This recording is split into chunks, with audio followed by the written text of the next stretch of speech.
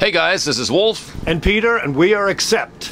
We're gonna come to Kiev on November 13th. To the Stereo Plaza to bring the Teutonic metal to you. We'll see you there. Rock on.